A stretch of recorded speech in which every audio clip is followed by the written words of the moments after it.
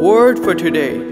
If God is for us, who can be against us? Romans chapter 8 verse 31. When the Lord came to Elijah in 1 Kings chapter 19 verse 13, he asked Elijah, who was running from Jezebel, and what are you doing here?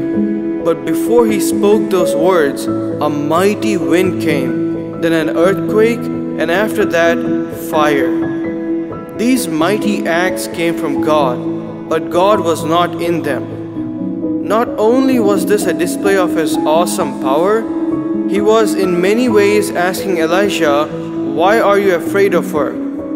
Can she do that? God does not want His children running around living their lives in fear of other people. We are not set apart alone. We are set apart in Him and we are safe. Be blessed and be encouraged.